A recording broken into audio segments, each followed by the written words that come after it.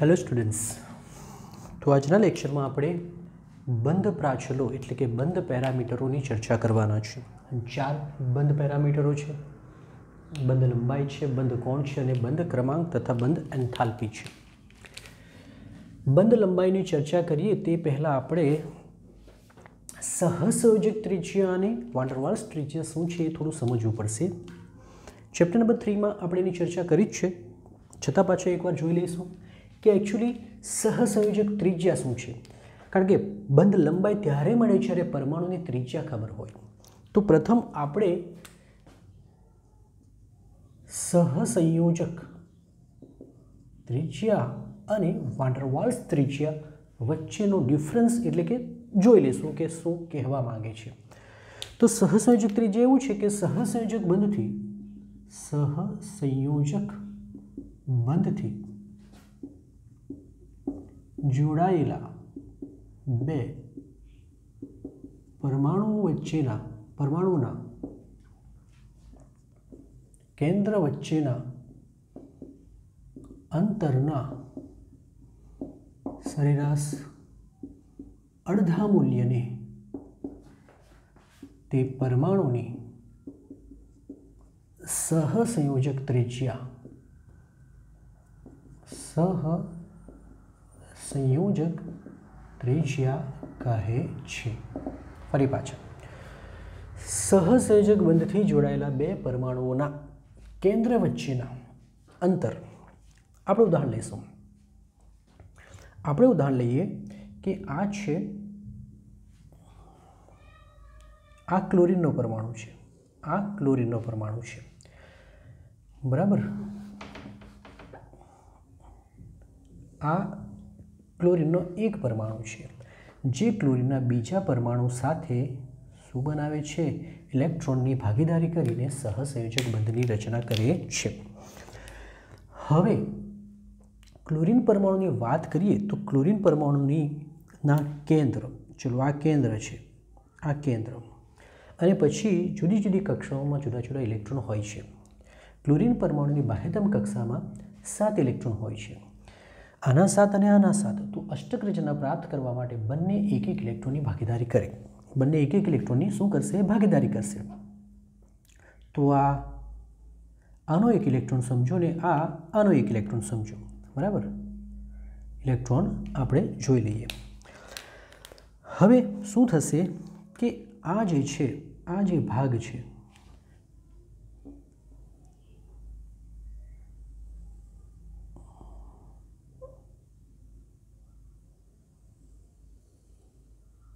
આ જે ભાગ છે કે જેમાં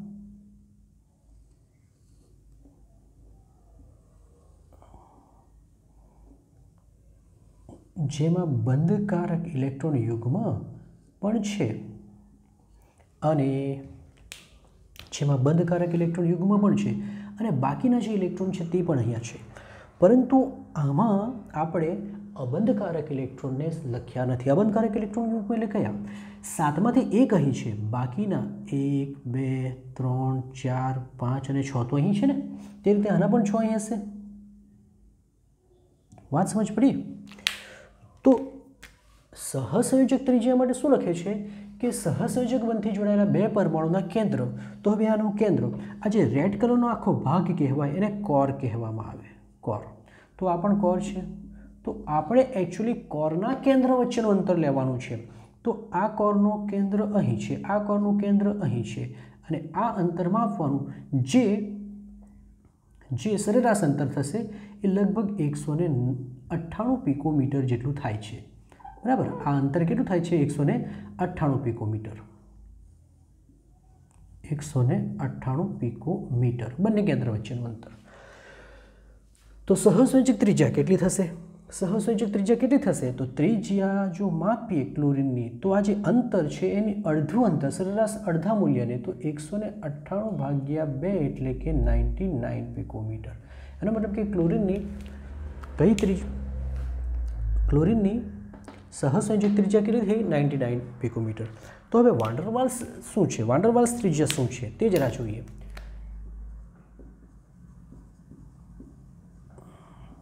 વાલ્સ ત્રિજ્યા તો એમાં એવું છે વાંડરવાલ્સ ત્રિજ્યા અણુઓ વચ્ચે વાંડરવાલ્સ આકર્ષણ બળની ચર્ચા કરીશું આ ચેપ્ટરમાં ત્યારે આપણે જોશું. પરંતુ હાલમાં એવું છે કે વાંડરવાલ્સ આકર્ષણ બળ અણુઓ વચ્ચે લાગતું હોય છે. પરમાણુ વચ્ચે પણ લાગે છે, પરંતુ પરમાણુમાં નિષ્ક્રિય વાયુ હોય તેમને લાગે છે. આપણે હાલમાં અણુની ચર્ચા કરીશું. આપણે ક્લોરિનને જ લઈને જોવાનો છે એટલે આપણે કે અણુ અણુ એક અણુ. એક અણુ જે અંતર સુધી બીજા અણુ પર, બીજા અણુ પર. વાંડરવાલ્સ વાંડરવાલ્સ આકર્ષણ બળ. બળ લગાવી શકે. તે અંતરના અડધા મૂલ્યને, તે અંતરના અડધા મૂલ્યને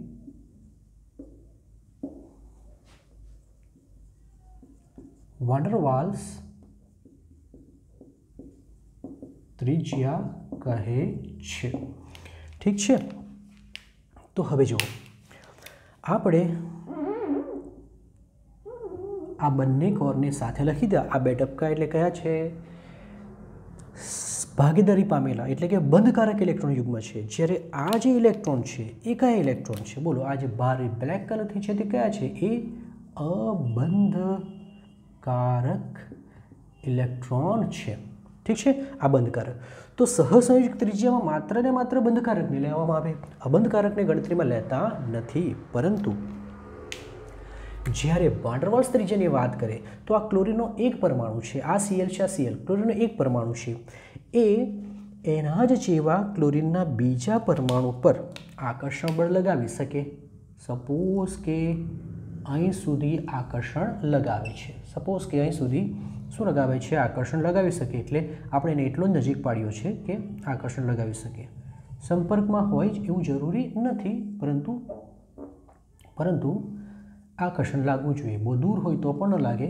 લગભગ ચાર એંગસ્ટ્રોમ કરતાં વધુ અંતરે વાંડરવાલ્સ બળ શૂન્ય બની જતું હોય છે. ચલો, આપણે બીજો અણુ પાડી દીધું. રાઈટ ફરી પાછું એમાં આપણે કોર બતાવી દઈશું ઓહ, વધારે.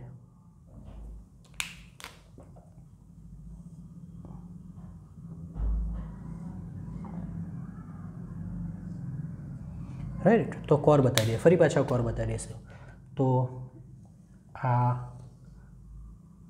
બંનેના કોર થઈ ગયા, સમજો? ઉપર આકૃતિ વ્યવસ્થિત હતી, નીચે એટલી વ્યવસ્થિત પડાતી નથી. આ કોર થઈ ગયા. આ જરા વધારે મોટો થઈ ગયો છે. ચલો, હવે શું છે જરાક સમજો? ફરી પાછું આયનું કેન્દ્ર આયનું કેન્દ્ર અને અંદર પેલા ઇલેક્ટ્રોન કયા હશે? બંધકારક. એટલું તો યાદ છે રેડ કલરથી એટલે બંધકારક. જ્યારે બાર શું હશે? બાર અબંધકારક ઇલેક્ટ્રોન હશે. તો અહીં કહી શકીએ કે આ એક ક્લોરીનનો પરમાણુ છે અને આ એક ક્લોરીનો પર અણુ છે અણુ આ બંને અણુ આટલા અંતર સુધી આકર્ષણ બળ લગાવે. તો તો તેવા કિસ્સામાં આ અહીંથી એક રેખા પસાર કરો ને અહીંથી એક રેખા પસાર કરો.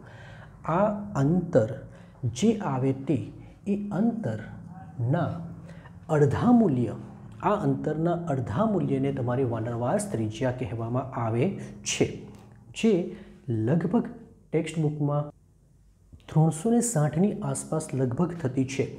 તો આ, પહેલાં તો આ અંતર લખી દઈશું આ જે અંતર છે, એટલે વાંડરવાસ ત્રિજ્યા છે. ત્રિજ્યા, આ કઈ હતી? સહસંયોજક. ક્લોરીન પરમાણુની પણ આ કઈ હતી? સહસંયોજક ત્રિજ્યા, જેના વાંડરવાસ ત્રિજ્યા આ અંતર આ અંતર ત્રણસો ને સાઠ પીકોમીટર થાય છે. રાઈટ તો એનું અડધું અંતર લઈ લઈએ. તો એનું અડધું અંતર પરથી આપણને વાંડરવાસ ત્રિજ્યા મળી જશે અને તે ત્રિજ્યા ત્રણસો સાહીઠ ભાગ્યા બે એટલે કે એકસો ને એંસી પીકોમીટર થાય છે. તો સમજો કે સહસંયોજક ત્રિજ્યામાં માત્ર ને માત્ર બંધકારક ઇલેક્ટ્રોન યુગ્મ સુધી જ નો સમાવેશ થાય એટલે કોર વચ્ચે જ લેવામાં આવે છે. જ્યારે વાંડરવાલ્સ ત્રિજ્યામાં તમે કોરને તો લાવો જ છો, પણ સાથે સાથે તમારે અબંધકારક ઇલેક્ટ્રોન યુગ્મ ધરાવતી ભાગને પણ કન્સિડર કરવો પડે છે. તો યાદ રાખો કે અણુના બંને કેન્દ્ર વચ્ચેનું પૂરેપૂરું અંતર લઈ લઈએ, જ્યાં સુધી આકર્ષણ બળ લાગે છે કયું વંડરવાલ્સ તો પછી આપણે તેને વંડરવાલ્સ ત્રિજ્યા કહેશું. તો આ બંને વચ્ચેનો થોડો બેઝિક ડિફરન્સ હતો. હવે આપણે મૂળ પ્રચાલો પર આવી જઈએ. એમાંનું પહેલું છે બંધ લંબાઈ. તો ફરી પાછું એ જ થઈ ગયું કે અણુમાં જોડાયેલા બે પરમાણુ વચ્ચેના સંતુલિત અંતરને બંધ લંબાઈ કહેવામાં આવે. એકચ્યુઅલી આ અંતર, આટલું અંતર બંધ લંબાઈ કહેવાય. આને કહેવાય બંધ લંબાઈ. કારણ કે એ લંબાઈ દ્વારા જ અણુ જોડાયેલો છે. તો લખીશું કે અણુમાં રહેલા અથવા અણુમાં જોડાયેલા બે પરમાણુના કેન્દ્રો વચ્ચેનું સંતુલિત અંતરને બંધ લંબાઈ કહે છે. બરાબર? બંધ લંબાઈને કઈ કઈ પદ્ધતિ દ્વારા માપવામાં આવે? જેમ કે સપોઝ આપણી પાસે આ એ છે. આ એ પરમાણુ છે. પરમાણુ એ છે. સપોઝ પરમાણુ એ છે. અને આ પરમાણુ બી છે. બંને જોડાયા છે. રાઈટ તો અહીંથી ત્યાં બંનેના કેન્દ્રથી તે કેન્દ્ર વચ્ચેનું આ સળંગ અંતરને બંધ લંબાઈ કહેવામાં આવે છે. વાત સમજ પડી? બંધ લંબાઈ. કેન્દ્ર વચ્ચેના અંતરને શું કહેવામાં આવે? બંધ લંબાઈ. હવે કઈ કઈ પદ્ધતિ દ્વારા માપી શકાય છે? તો બંધ લંબાઈ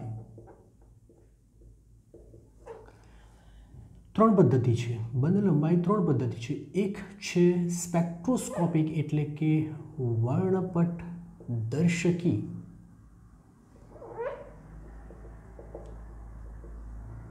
પદ્ધતિ, બીજું આવે ક્ષ, એક્સરે, કિરણ, વિવર્તન. વિવર્તન અને ત્રીજું આવે ઇલેક્ટ્રોન. ઇલેક્ટ્રોન વિવર્તન પદ્ધતિઓ. બરાબર? પદ્ધતિ દ્વારા માપી શકાય છે.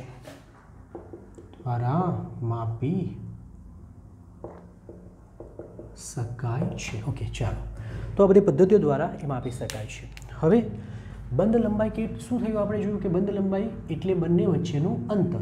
રાઈટ હવે આટલેથી આટલી જોઈ લઈએ કે આટલેથી આટલું અંતર તો એની શું હતું? આટલેથી આટલું અંતર એટલે અડધું અંતર તો એની પરમાણુ ત્રિજ્યા હતી. તો આ અંતરને સપોઝ આપણે એની પરમાણુ ત્રિજ્યા કહીએ અને આટલેથી આટલા અંતરને બીની પરમાણુ ત્રિજ્યા કહીશું. તો પછી બંધ લંબાઈનું સૂત્ર બનાવી શકીએ. ચલો, બંધ લંબાઈને બે રીતે ગણવામાં આવે છે. બંધ લંબાઈનું ગણતરી બે રીતે થાય છે. શું? એક જો બંને, આ તો બે પરમાણુ અલગ અલગ લખેલા છે, બંને પરમાણુ સમાન હોય એટલે કે સમાન વિદ્યુત ઋણતા ધરાવતા હોય, તો લખીશું બંને પરમાણુની વિદ્યુત ઋણતા સમાન હોય. તો શું? તો સૂત્ર છે બંધ લંબાઈ એટલે કે બરાબર આર એ વત્તા આરબી સિમ્પલ, ખાલી બંનેનો સરવાળો. તે જ રીતે જો બંને પરમાણુની વિદ્યુત ઋણતા સમાન ન હોય, એટલે કે જુદી જુદી હોય, બંને પરમાણુની વિદ્યુત ઋણતા જુદી જુદી હોય, તો ત્યારે બંધ લંબાઈ કેવી રીતે શોધવામાં આવે? તો બંધ લંબાઈ, અહીં આપણે ફક્ત ને ફક્ત સહસંયોજક ત્રિજ્યાનો સરવાળો કર્યો. અહીં પણ એવું જ છે, જરા ફરક છે. Minus zero point zero nine XC minus X B. અને ખાસ વાત એ છે કે આ સૂત્ર દ્વારા જે પણ જવાબ આવશે એ એંગસ્ટ્રોમમાં આવશે. ઓકે, ફરી પાછા. આરે શું છે? આરે શું છે? તો પરમાણુ એની કઈ ત્રિજ્યા સહસંયોજક ત્રિજ્યા. ચલો આર બી શું છે? પરમાણુ બીની સહસંયોજક ત્રિજ્યા. એક્સ એ શું છે તો? એક્સ એ પરમાણુ એની વિદ્યુત ઋણતા છે, વિદ્યુત ઋણતા. અને એક્સ બી એ પરમાણુ બીની વિદ્યુત ઋણતા. તો આ સૂત્ર પરથી આપણે પરમાણુ ત્રિજ્યા મેળવી શકીએ. બરાબર? ઓકે સૂત્ર પરથી આપણે સોરી બંધ લંબાઈ મેળવી શકીએ. હવે, બંધ લંબાઈને અસર કરતા પરિબળો. બંધ લંબાઈને અસર કરતા પરિબળો.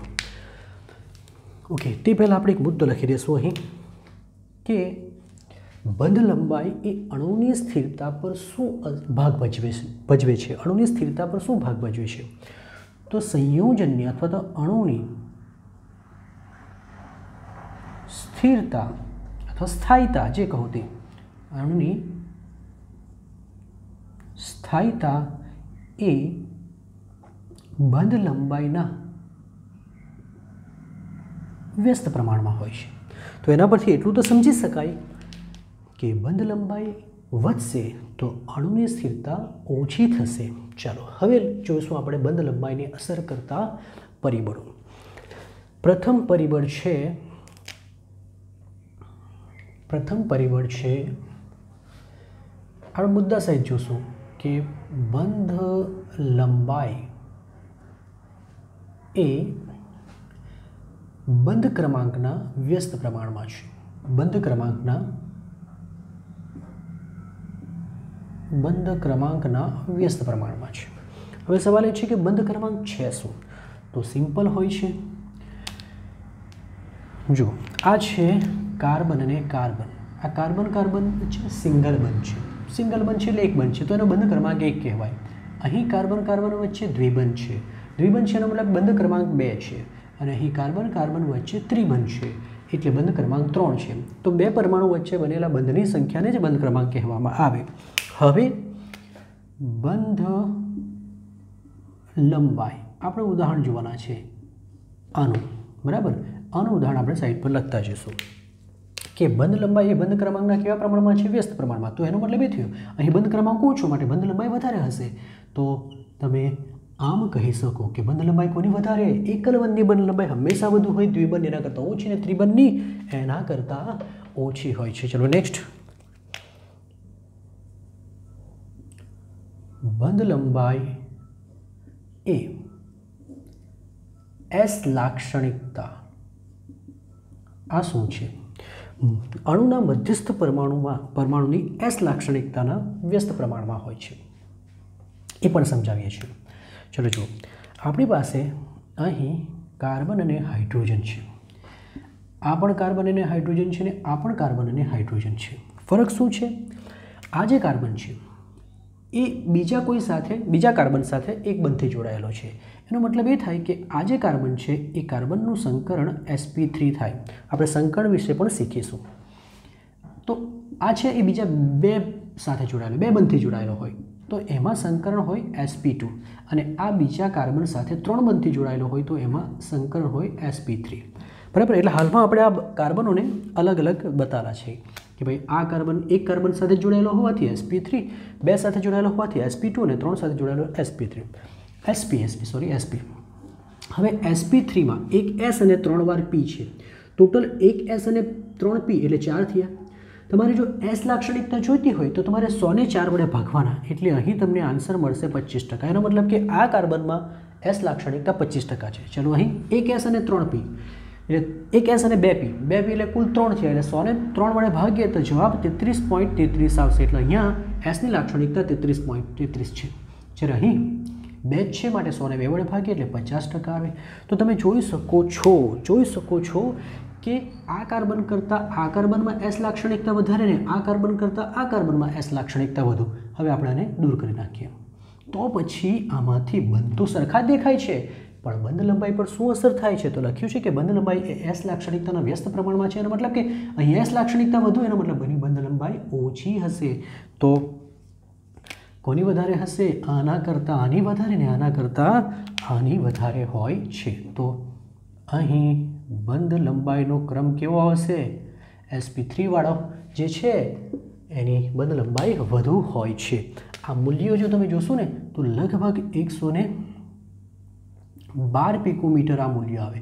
આ એકસો ને દસ પિકોમીટર આવે અને આ એકસો ને છ પિકોમીટર થઈ જાય છે. આપણે આ પણ શીખીશું. તો આમ સમાન બંધો હોવા છતાં એસ લાક્ષણિકતા જુદી હોય તો બંધ લંબાઈ બદલાય છે. નેક્સ્ટ બંધ લંબાઈ એ પરમાણુના કદના સમપ્રમાણમાં હોય છે. એનો મતલબ પરમાણુનું કદ વધશે તો બંધ લંબાઈ વધશે. એનું એક સિમ્પલ ઉદાહરણ લઈ લઈએ આપણે. જેમ કે એચ અને એચ સાથે એફ જોડાયેલો છે. એચ સાથે સીએલ જોડાયેલો છે. એચ સાથે બીઆર જોડાયેલો છે. આ રીતે એચ સાથે આઈ પણ જોડાઈ શકે. બરાબર? આપણે ફક્ત ફક્ત ત્રણે લીધા હાલમાં. તો આમાં કોની બંધ લંબાઈ વધુ? ચલો, આમાં કોની બંધ લંબાઈ વધારે? તો જુઓ એસ એફ કદમાં નાનો હોય છે. તમને ખબર છે સીએલ એના કરતાં મોટો ને બીઆર એના કરતાં મોટો. તો જેમ તમારા પરમાણુનું કદ વધે, બંધ લંબાઈ વધે. એનો મતલબ એ થયો કે એચએફની બંધ લંબાઈ કરતાં એચસીએલની વધારે ને એચસીએલ કરતાં એચબીઆરની વધુ હોય છે. ઓકે, તો આપણે બંધ લંબાઈ વિશે જોઈ ગયા. નેક્સ્ટ હવે આપણે જોશું બંધ કોણ બંધ કોણ કોને કહેવામાં આવે?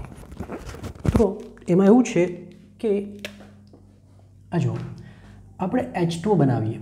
તો એચ બનાવવા માટે આપણી પાસે એક ઓક્સિજન હોય છે. આ ઓક્સિજન પરમાણુ પછીની આજુબાજુ બે હાઇડ્રોજન હોય છે. શીખ્યા ને આપણે? ઓક્સિજનની બાહ્યતમ કક્ષામાં કેટલા ઇલેક્ટ્રોન હોય? ઓક્સિજનની બાહ્યતમ કક્ષામાં છ ઇલેક્ટ્રોન હોય છે. ખબર જ છે તમને? બરાબર ને? છ ઇલેક્ટ્રોન હોય છે. પેલો હાઇડ્રોજન આવે અને એક એક ઇલેક્ટ્રોનની શું કરે છે? ભાગીદારી કરે છે. રાઈટ એક એક ઇલેક્ટ્રોનની ભાગીદારી કરે છે. આ હાઇડ્રોજન છે, આ હાઇડ્રોજન છે. તો આ રીતે એચ ટુ અણુ બને. હવે આમાં તમને ખબર છે કે આ જે બે ઇલેક્ટ્રોન છે કે જે બંધમાં વપરાયેલા છે, ભાગીદારીના છે, એને આપણે શું કહેતા છે? બંધકારક ઇલેક્ટ્રોન યુગમાં. અને જે બાકીના જે ઇલેક્ટ્રોન છે, તેને આપણે શું કહેતા છે? અબંધકારક ઇલેક્ટ્રોન યુગમાં. તો તેવા કિસ્સામાં આ અણુની રચના કેવી થાય? તો આ અણુની રચના આ રીતે થાય. ઓક્સિજન આ રીતે હાઇડ્રોજન સાથે બંધ બનાવે, આ રીતે હાઇડ્રોજન સાથે બંધ બનાવે, અને બાકી બે કક્ષકો ઉપર રહે. આ આપણા કયા થયા? તો બંધકારક ઇલેક્ટ્રોન યુગમાં. જ્યારે આ જે હશે તે અબંધકારક ઇલેક્ટ્રોન યુગમાં છે. ક્લિયર તો અહીં આપણે કક્ષકો બતાવી છે. ચાર કક્ષકો છે. એક આ કક્ષક થાય, એક આ કક્ષક અને બે આ છે. આ જે કક્ષકો છે, આ બે કક્ષકો, એ કયા ઇલેક્ટ્રોન ધરાવે છે? બંધકારક. જ્યારે ઉપરની કક્ષકો કયા ઇલેક્ટ્રોન ધરાવે છે? અબંધકારક. તો હવે વ્યાખ્યામાં આનો ઉલ્લેખ છે એટલા માટે મારે આ બતાવ્યું, બતાવવા પડ્યું. લખીએ આપણે. અણુ કે સંકીર્ણ આયન ના મધ્યસ્થ પરમાણુ, મધ્યસ્થ પરમાણુની બંધકારક ઇલેક્ટ્રોન યુગ્મ ધરાવતી કક્ષકો વચ્ચેના કોણને બંધ કોણ કહે છે. ફરી પાછા. શું કહે છે જો કે પરમાણુની બંધકારક ઇલેક્ટ્રોન યુગ્મ ધરાવતી કક્ષકો. બતાવો, આમાં કઈ બંધકારક ઇલેક્ટ્રોન યુગ્મ ધરાવતી? ચારમાંથી કઈ કક્ષકો છે? તો આ અને આ છે. તો આમની વચ્ચેનો ખૂણો જે બને તે એને જ બંધ કોણ કહેવામાં આવે. સમજજો, માત્ર ને માત્ર બંધકારક આ નહીં લેવાય, આપણને લેવાય ને ઉપરનો પણ લેવાય નહીં. તમારે ઉલ્લેખ કરવો હોય તો કરી દો. આ બંને કઈ છે? આ બંને અબંધકારક ઇલેક્ટ્રોન યુગ્મ ધરાવતી કક્ષકો છે. અબંધકારક ઇલેક્ટ્રોન યુગ્મ ધરાવતી કક્ષો છે. જેના બંને કેવી છે? બંધકારક. તો આ બંને વચ્ચેના કોણને કહેવાય બંધ કોણ ઓકે? તો બંધ કોણ કે- કોને કહેવાય? ખબર પડી ગઈ હશે? હવે બંધ કોણ? કઈ કઈ બંધ કોણને? ડિગ્રીમાં માપવામાં આવે, રેડિયનમાં લેવામાં આવે, ઘણીવાર સેકન્ડમાં પણ લેવામાં આવે. ઓકે, ચાલો હવે બંધ કોણને અસર કરતા પરિબળો બંધ કોણને પણ માપવામાં આવે છે. પેલી સ્પેક્ટ્રોસ્કોપિક મેથડ એટલે કે વર્ણપટદર્શકી પદ્ધતિઓ દ્વારા જ માપવામાં આવે છે. પરંતુ આપણે એની ચર્ચા નહીં કરીશું, આપણે એના કયા કયા પરિબળો છે એની ચર્ચા કરીશું. તો પહેલું પરિબળ છે બંધ કોણ બંધ કોણ એ એસ લાક્ષણિકતા. કઈ લાક્ષણિકતા? એસ લાક્ષણિકતા. તાના સમપ્રમાણમાં હોય છે. હવે એસ લાક્ષણિકતાના સમપ્રમાણમાં એટલે એસ લાક્ષણિકતા શું છે થોડું સમજાવ્યું છે. ડિટેલમાં પછી શીખીશું, પરંતુ થોડું તો ખબર પડી છે તમને. તો જુઓ, અહીં આપણે એનું ઉદાહરણ લઈએ. બંધ કોણ? ચલો, આપણી પાસે કાર્બન કાર્બન સિંગલ બંધ છે. સોરી આપણી પાસે બીઈસીએલ ટુ છે. એક સંયોજન બીઈસીએલ ટુ છે. બીજો બી એફ થ્રી છે અને ત્રીજો સી એચ ફોર છે. બરાબર? થાય શું કે આમાં જે મધ્યસ્થ પરમાણુ છે એસ લાક્ષણિકતા પણ કોની? તો બધું જ મધ્યસ્થ પરમાણુને લાગે વળગે એટલે બીને લાગે વળગે એનું સંકરણ એસપી આવે. અહીં બોરોનનું સંકરણ એસપી ટુ હોય છે અને કાર્બનનું સંકરણ એસપી થ્રી હોય છે. તો પછી સ્વાભાવિક છે, આમાં એસ લાક્ષણિકતા પચીસ ટકા, આમાં તેત્રીસ ટકા અને આમાં પચાસ ટકા હશે. તો પછી બંધકોણ કોનો વધારે? તો એસ લાક્ષણિકતા જેની વધારે, તેનો બંધકોણ વધારે. એનો મતલબ કે આ અણુમાં બંધકોણ વધુ, પછી આનો વારો અને પછી આનો વારો. અને આ કિંમત બી તમે જોશો ને, તો આની કિંમત એકસો ને નવ પોઈન્ટ પાંચ ડિગ્રી આવે, આની કિંમત એકસો ને વીસ આવે અને એકસો ને એંસી આવે છે. તો આ એક પરિબળ થઈ ગયું એસ લાક્ષણિકતા. હવે બીજી વાત કરીએ, તો બીજું છે બંધ કોણ એ એકના છેદમાં મધ્યસ્થ પરમાણુ પર અબંધકારક ઇલેક્ટ્રોન યુગ્મની સંખ્યાના વ્યસ્ત પ્રમાણમાં છે. ફરી પાછા, અહીં મધ્યસ્થ પરમાણુ ન લખતું તો પણ તમારે સમજવાનું કે મધ્યસ્થ પરમાણુ માટે જ છે, કારણ કે આ બધી જ પરિબળો મધ્યસ્થ પરમાણુને અનુરૂપ જ છે. ચલો હવે બંધ કોણની વાત કરીશું, ઉદાહરણ લઈ લેશું. ઓકે આ સી એચ ફોર છે, એટલે કે મિથેન છે. આ એનએચ થ્રી એટલે કે અમોનિયા છે, અને આ એચ ટુઓ છે. ઓકે બધામાં સંકરણ, સાંભળજો, બધામાં સંકરણ સમાન છે SP three SP three SP sorry ઓક્સિજનમાં SP three છે. એટલે એસ લાક્ષણિકતા તો બધામાં સમાન જ છે. તો પછી શું ફેરફાર છે? ફેરફાર એ છે કે કાર્બનની બાહ્યતમ કક્ષામાં એક પણ અબંધકારક ઇલેક્ટ્રોન યુગ્મ નથી. જ્યારે અહીં એક છે, જ્યારે આની પાસે એટલે કે ઓક્સિજન પાસે બે હોય છે. બરાબર? આ ટપકા અબંધકારક ઇલેક્ટ્રોન યુગ્મ દર્શાવે. તો પછી એ શું લખ્યું છે? કે મધ્યસ્થ પરમાણુ પણ અબંધકારક ઇલેક્ટ્રોન યુગ્મની સંખ્યા વધે તો બંધકોણ ઘટે? તો એનો મતલબ એ થયો કે અહીં બંધકોણ કોનો વધારે, મિથેનનો, પછી આનો અને પછી આનો હોય છે. આનો એકસો નવ હોય છે, આનો એકસો સાત હોય છે અને આનો એકસો ચાર પોઈન્ટ. એ પણ આપણે લખી દઈએ. આનો એકસો નવ પોઈન્ટ પાંચ, આનો એકસો સાત ડિગ્રી અને આ એકસો ને ચાર પોઈન્ટ પાંચની આસપાસ હોય છે. તો આ રીતે નેક્સ્ટ થર્ડ લઈ લેશું. ત્રીજું શું છે? ત્રીજું છે વિદ્યુત ઋણતા. બંધ કોણ? એ મધ્યસ્થ પરમાણુની વિદ્યુત ઋણતાના સમપ્રમાણમાં છે. મધ્યસ્થ પરમાણુ. આપણા મધ્યસ્થ પરમાણુ આપણા મધ્યસ્થ પર મધ્યસ્થ પરમાણુ. એનું ઉદાહરણ લઈ લઈએ. એનું ઉદાહરણ લઈ લઈએ. બંધ કોણનો ક્રમ લખીશું. ચાલો. આપણી પાસે એચ ટુ છે. આપણી પાસે એચ ટુ એસ આવી શકે. એચ ટુ એસી એટલે કે hydrogen sulphide, hydrogen selenide. Okay, તો આની વાત કરીશું. આમાં ઓક્સિજનનું સંકરણ કયું એસપી થ્રી આમાં કયું? એસપી થ્રી આમાં કયું? એસપી થ્રી સંકરણ સરખું. આની પાસે બે અબંધકારક ઇલેક્ટ્રોન યુગ્મ. આની પાસે પણ બે અબંધકારક ઇલેક્ટ્રોન યુગ્મ. આની પાસે પણ બે અબંધકારક. અબંધકારક ઇલેક્ટ્રોન યુગ્મ બી સમાન. તો પછી કોનો બંધ કોણ વધારે? તો એ શું લખે છે, જે મધ્યસ્થ પ્રમાણની વિદ્યુત વધારે, તેનો બંધ કોણ વધુ અને ઓક્સિજનની વિદ્યુત વધારે આવે છે માટે બંધ કોણનો ક્રમ આવશે એચ ટુઓ પછી આ અને પછી આ આવશે. આ ખૂબ અગત્યનું છે. અને લાસ્ટ છે લાસ્ટ છે, ચોથું બંધ કોણ. એક બંધ કોણ બરાબર ચલે છે સમપ્રમાણુ બાજુના પરમાણુનું કદ. આ અગત્યનું છે. આ મધ્યસ્થ પરમાણુ નથી કહેતા બાજુના પરમાણુની વાત કરી છે. એનું ઉદાહરણ લઈ લે. તો એ લખી દઈએ આપણે. બંધ કોણ બરાબર? આનું જ એક બીજું ઉદાહરણ લખવું હોય તો આપણે એ પણ લખી શકીએ. જેમ કે NH three, PH three ASH થ્રીમાં આનું બંધ લંબ આનું વિદ્યુત વધુ હોવાથી બંધ કોણ આ ક્રમમાં હશે? કારણ કે અહીં અલગ અલગ છે. પરંતુ હવે જરાક જુઓ.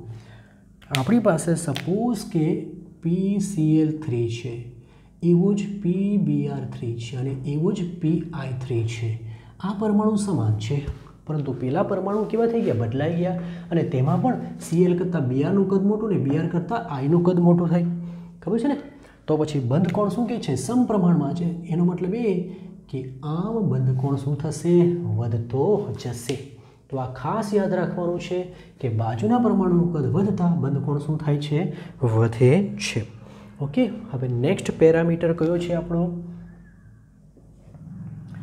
બંધ ક્રમાંક બરાબર? નેક્સ્ટ પેરામીટર કયો છે? બંધ ક્રમાંક તો બંધ ક્રમાંક પણ જોઈ લઈએ. એકચ્યુઅલી જોઈ ગયા છે.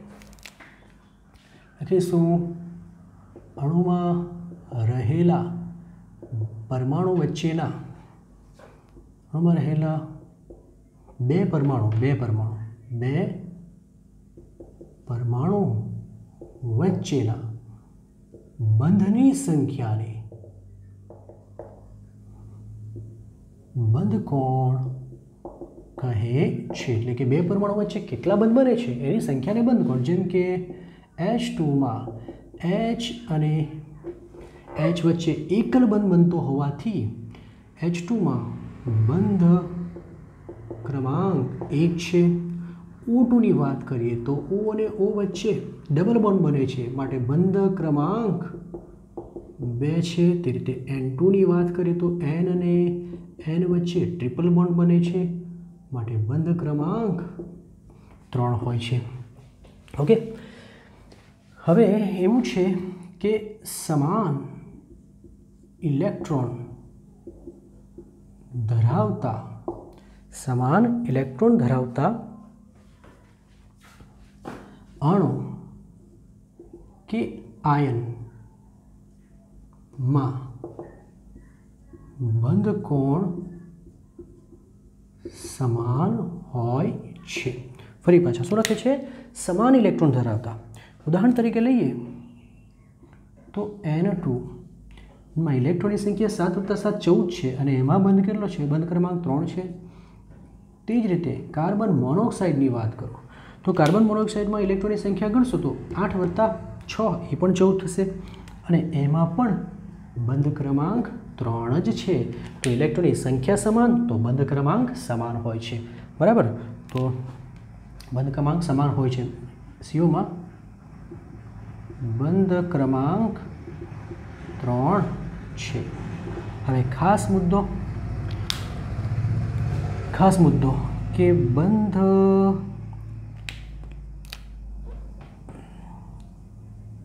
અણુ, અણુની સ્થાયીતા એ બંધ ક્રમાંકના બંધ ક્રમાંકના કેવા પ્રમાણમાં હોય છે? સમપ્રમાણમાં હોય છે. ખૂબ અગત્યનો અણુની સ્થાયીતા બંધ ક્રમાંકના સમપ્રમાણમાં હોય છે. ઓકે હવે આપણે જોશું બંધ એન્થાલ્પી. નેક્સ્ટ બંધ પ્રચાલન પ્રચાર છે બંધ એન્થાલ્પી. ઓકે આ ખૂબ અગત્યનું છે. એન્થાલ્પી મીન્સ ઊર્જા.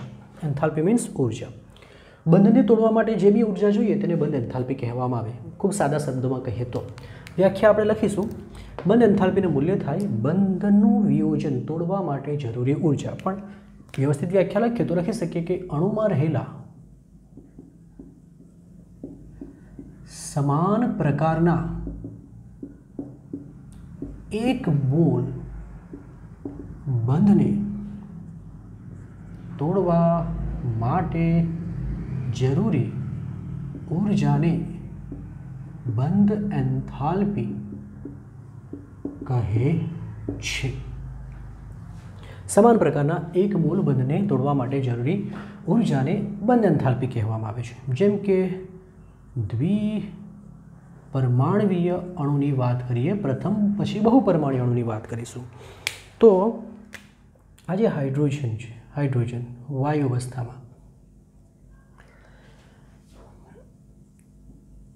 વાયુરૂપ વાયુરૂપ અણુ, શબ્દ વાપરવો પડશે વાયુરૂપ અણુ. બરાબર? ઓકે એનું રીઝન શું છે? તમે ઘન ઘન પદાર્થ હોય તેને ડાયરેક્ટ ઊર્જા આપો એટલે કે બંધ તૂટી ન જાય. ઘન પદાર્થ પહેલાં પ્રવાહી, પ્રવાહીમાંથી વાયુમાં રૂપાંતર પામે, પછી બંધ તૂટે. તો આપણે તો ખાલી બંધને તોડવાની ઊર્જા ગણવાની છે. ભૌતિક અવસ્થા રૂપાંતરની ઉર્જાની ગણતરી જોઈતી નથી. માટે શબ્દ લખી દીધો, વાયુરૂપ અણુમાં રહેલા. તો ઘન અણુમાં લખીએ તો તે આપેલી બધી ઊર્જા કંઈ બંધ એન્થાલ્પી નથી બનતી. સમજ પડે છે? તે પછી અવસ્થા રૂપાંતરની એન્થાલ્પીમાં ગણતરીમાં આવશે. આપણે એનો અભ્યાસ ઉષ્માગતિશાસ્ત્રમાં ખૂબ ડિટેલમાં કરીશું. ચાલો. અને તોડવા માટે ઊર્જા આપીશું તો આપણા એચ અને એચ અલગ થઈ જશે. આના માટે જરૂરી ઉર્જાનું મૂલ્ય ચારસો ને પાંત્રીસ પોઈન્ટ આઠ કિલો જૂલ પ્રતિ મોલ છે.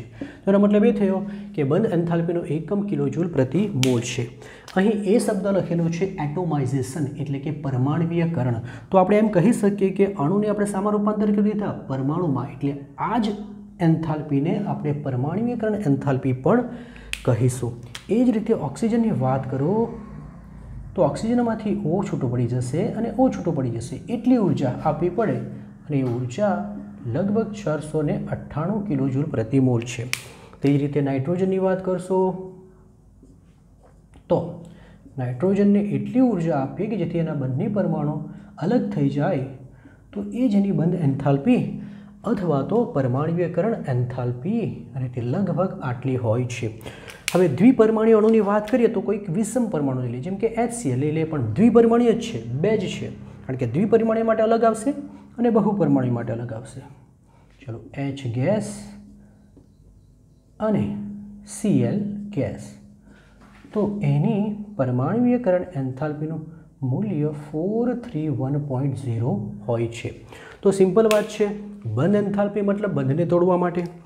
પ્રશ્ન ત્યારે થાય છે કે જ્યારે બહુ બહુ પરમાણવીય અણુ આવે, એનો મતલબ એ થયો કે હવે અણુમાં પરમાણુની સંખ્યા બેથી વધારે હશે. તો શું? તો અહીં લખીશું કે અહીં બહુ પરમાણવીય અણુમાં રહેલા સમાન પ્રકારના પ્રકારના બધા જ બંધો, બંધોને તોડવા માટે જરૂરી ઊર્જા જુદી જુદી હોય છે, જુદી જુદી હોય છે. એ શું કહેવા માંગે છે સમજાવું છું. ચલો જો આપણી પાસે એચ છે. એચ ટુનો મતલબ થાય કે એમાં બે ઓ એચ ઓ એચ બંધ હશે. ઓ એચ બંધ આ પણ એક સેમ એક જ છે ને તેવો જ ઓ એચ બંધ. તો બંધો તો સમાન છે. સમાન બંધો તોડવા માટે સરખી ઊર્જા જોઈતી હશે. પણ એવું નથી. આ બહુ પરમાણુય અણુ છે. બે કરતાં વધુ પરમાણુ. તો શું થાય છે કે પ્રથમ જ્યારે તમે આને ગરમ કરો, બંધ તોડો એક એચ છૂટો પડી જાય. અને પેલો એક ઓએ છૂટો પડી જાય. તો આના માટે જરૂરી ઊર્જા, આના માટે જરૂરી ઊર્જા. બંધ એન્થાલ્પી બંધ એન્થાલ્પી નું મૂલ્ય. ફક્ત ને ફક્ત આના માટે. ચલો આપણે આને વન કહી દઈશું. આ મૂલ્ય five zero two kilo joule પ્રતિ મોલ છે. બરાબર? ફાઇવ ઝીરો બરાબર. હવે આમાંથી બીજો બંધ તોડીએ. ઓ એચનો વધારે ઊર્જા આપીએ. એચ અને ઓ છૂટા પડી જશે. બંને ગેસ સ્વરૂપમાં છૂટા પડી જશે. તો જોવા જઈએ તો આપણે તો પહેલાં પણ એક ઓ એચ બંધ જ તોડ્યો અને પછી પણ એક ઓ એચ બંધ જ તોડીએ છીએ. તો ઊર્જા સમાન હોવી જોઈએ, પણ એવું થતું નથી. અને આ બદલાઈને four seven, four two seven kilo joule પ્રતિ મોલ થઈ જાય છે. હવે પ્રશ્ન થશે આવો. કયા કારણને લીધે થયું? એટલે પહેલાં તો થયું છે એ સમજીને આપ સમજીએ કે અહીં બહુપરિમાણીય અણુમાં રહેલા સમાન પ્રકારના બધા જ બંધોને તોડવા માટે જરૂરી ઊર્જા સમાન હો, જરૂરી ઊર્જા જુદી જુદી હોય છે. તેથી અહીં સરેરાશ સરેરાશ બંધ એન્થાલ્પી લેવી પડે. તો મારે એચ ટુની બંધ એન્થાલ્પી જોઈતી હોય તો મારે સરેરાશ બંધ એન્થાલ્પી લેવી પડે. અને સરેરાશ બંધ એન્થાલ્પી કેવી રીતે મળશે? તો સરેરાશ સરેરાશ બંધ એન્થાલ્પી સિમ્પલ. જેટલા પણ તમારા બંધો છે, એ બંધો માટે જરૂરી ઊર્જા ભાગ્યા બંધોની સંખ્યા. બરાબર? બંધની સંખ્યા. એટલે કેટલા છે બંધો? બે તોડ્યા છે, એક અને બે. તો આ તમે સરવાળો કરો અને જવાબ તમારો કેટલો આવશે? તો નાઇન ટુ અને નાઇન ભાગ્યા બે. એટલે કે લગભગ ત્રીસ લઈ લો તો ચારસો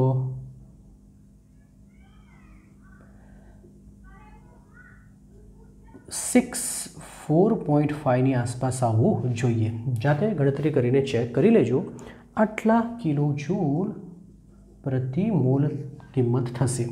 આ કોની થઈ?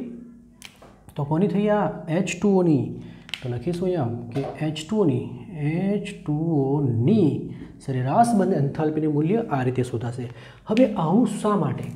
શા માટે આ અલગ થયું ને આ અલગ થયું. તો એ બતાવે છે કે અહીં જ્યારે એચ ટુમાંથી એચ છૂટો પડી ઓએચ બને છે, તો બંધુ સમાન હોવા છતાં પણ જેવું તમે એક એચ કાઢી નાખો કે આ ઓક્સિજન પરમાણુનું રાસાયણિક પર્યાવરણ બદલાઈ જાય, મતલબ એનું સંકરણ બદલાઈ જાય, એના પર ઇલેક્ટ્રોનની સંખ્યા વધી જાય અને એના લીધે આ બંધ પર અસર પડે. એટલે હાલમાં તો આપણે શબ્દ એવો શીખીશું કે રાસાયણિક પર્યાવરણ બદલાઈ જવાને કારણે આ મૂલ્ય બદલાઈ જાય છે. ડિટેલમાં અભ્યાસ બંધ. આનો અભ્યાસ ડિટેલમાં આપણે ઉષ્મા ગતિશાસ્ત્રમાં કરીશું. તો લખીશું. અહીં એક બંધ. બંધ તૂટ તૂટ એક બંધ તૂટવા પછી, તૂટ્યા બાદ, અથવા તો એક બંધ તૂટી ગયા બાદ બાદ મધ્યસ્થ પરમાણુ મધ્યસ્થ પરમાણુ. હાલમાં તો કોણ છે આપણો? ઓક્સિજન. એટલે કાઉન્સમાં લખી દઈશું ઓક્સિજન. નું રાસાયણિક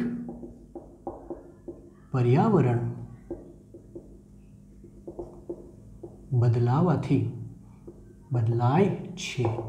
જેને લીધે જેને લીધે બંધ એન્થાલ્પી જુદી જુદી મળે છે. બંધ એન્થાલ્પી, જેને લીધે બીજા બંધની. બીજા સમાન બંધની. સમાન બંધની બંધ એન્થાલ્પી બદલાય છે. તો હાલમાં આપણે રીઝન પણ લખી દીધું અને સરેરાશ બંધ એન્થાલ્પીને કઈ રીતે લખવામાં આવે એ પણ જોઈ ગયા. હવે ખાસ બાબત એ છે કે બંધ એન્થાલ્પીનો